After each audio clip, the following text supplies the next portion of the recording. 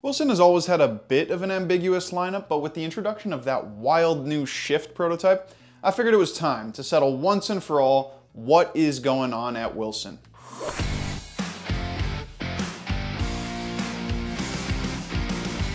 I won't go as far as to say that Wilson rackets are as confusing as what's going on over at Head.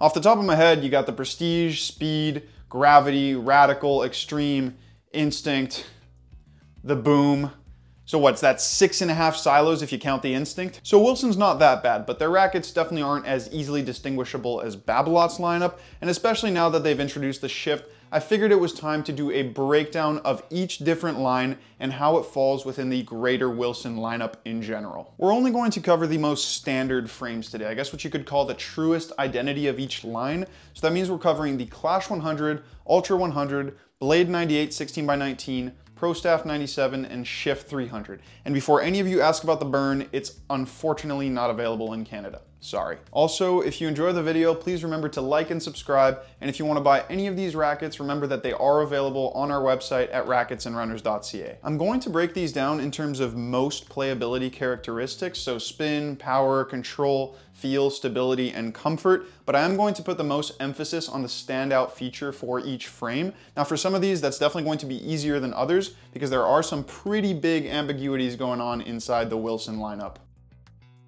Let's start with the Clash because it's one of the most miscellaneous rackets in Wilson's lineup and honestly one of the weirdest rackets to classify in the tennis industry in general. That's because the identity behind this line is purely based off of comfort and I can't think of a single other racket whose main identity is comfort. I definitely understand why Wilson thought it was a good idea to introduce a comfort line in 2019 because the whole industry had just been through a pretty rough decade of some pretty stiff, uncomfortable tweeners. You could say the Clash V1 was a logical reaction to those tweeners because it basically had everything that made them so popular, but it just lowered the stiffness significantly.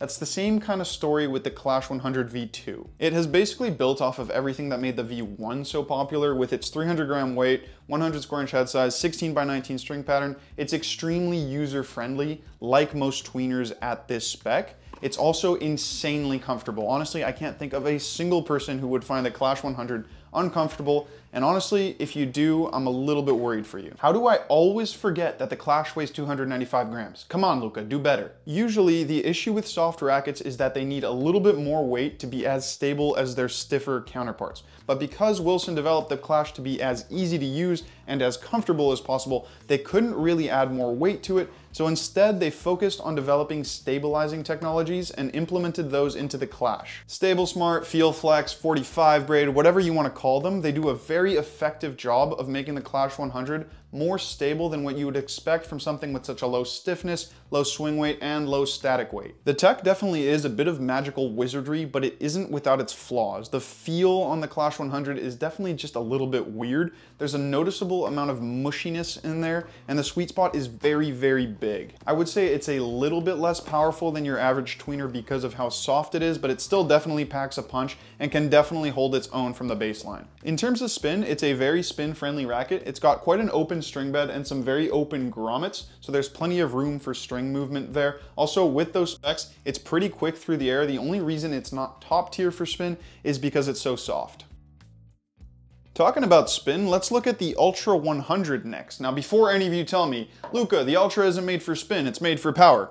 Hear me out. Wilson doesn't have a dedicated spin line like most other companies, and while I would still say that the Ultra's main identity is still power, it has gotten significantly more spin friendly this time around, and I think there's a few reasons for that. They redesigned the throat on the V4 to make it a little bit more oval than it was on the V3. Now this oval shape is just more aerodynamic, so it naturally quickens up the racket and makes for more racket head speed on contact. Also, these grommets are really, really open, so there is plenty of space for the strings to move, meaning there's tons of snapback here. But the biggest change for me comes with the introduction of that 45 technology in the actual layup. Now I've only felt 45 braided in soft rackets, but in this stiff of a racket, it adds an element of snappiness when the ball releases from the string bed, which definitely does amplify spin. Actually, now that I think about it, the last Pro Staff 97 was pretty stiff, it had 45 braid and I always found it more spin friendly than previous Pro Staff, so that pretty much confirms my theory that 45 braid amplifies spin.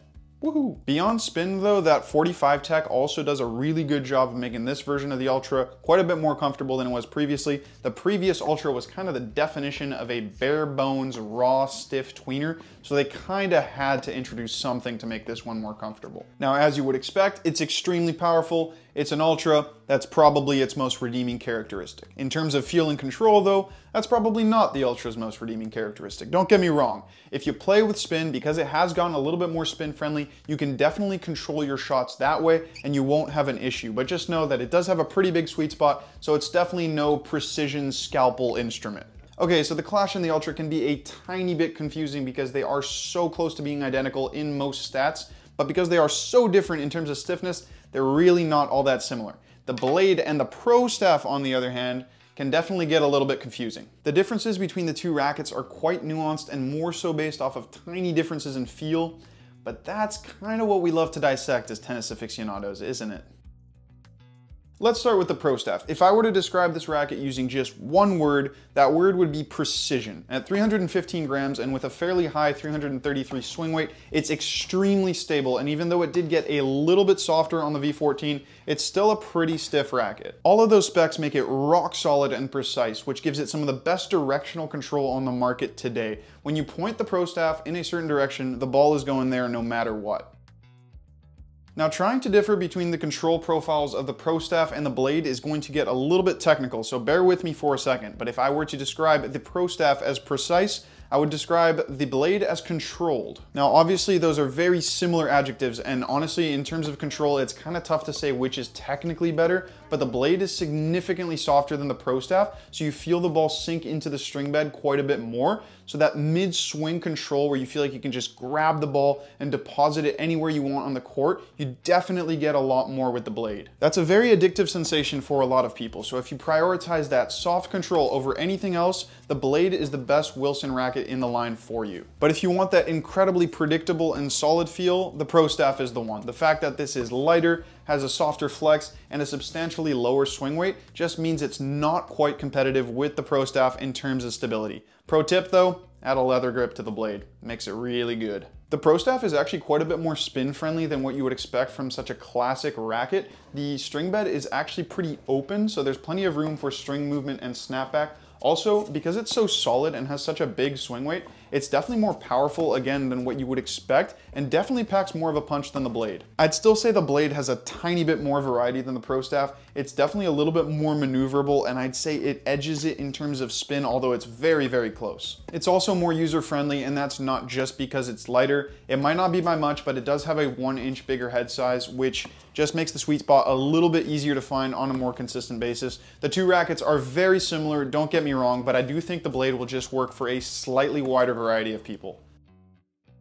Now what about the Shift? I wish I had one to show you, but they're all out for demo right now, and with good reason, it's a sick racket. One of the obvious elephants in the room with Wilson's lineup is that they don't have a true spin racket, Babolat has the Aero, Head has the Extreme, Yonex has the V-Core, and I know I just mentioned that spin was top, top tier on the Ultra, but it's definitely not a true spin racket. Well, neither is the Shift, but like the Ultra, it does have spin in its DNA. Now, a quick little disclaimer here, the Shift is technically still a prototype, so if that makes this little mini review null and void when the full release comes out, so be it, but I kind of doubt it.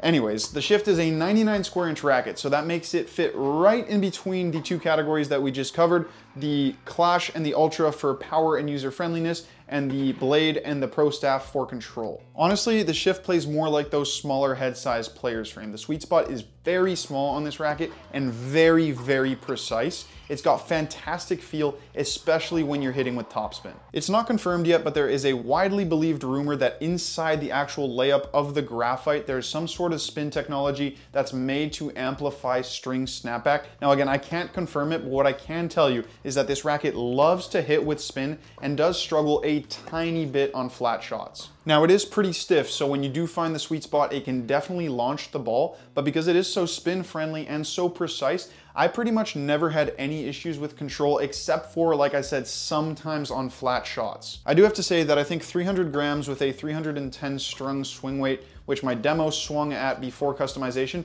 was just a little bit too light and unstable. Now I did customize it to 310 grams static with a 320 swing weight, which I thought played pretty much perfectly, and that was kind of the sweet spot with this racket. So what I would tell Wilson is upon general release, those are the only two little things that I'd want you to change, and then it's pretty much a perfect racket. Okay, so now that we've covered all that, let's summarize Wilson with a few one-liners, shall we? The Clash is for comfort. The Ultra is for power. The Pro Staff is for precision, and the Blade is for control, and the Shift is for a bit of everything. And for those of you that are going to ask, I'm still not sure if I'm shifting. With this information, I hope that I've helped narrow down the options on what is a fantastic, but definitely a little bit confusing lineup from Wilson. Now remember, if you'd like to demo any of these rackets, we've got them available in store, or you can check them out at racketsandrunners.ca.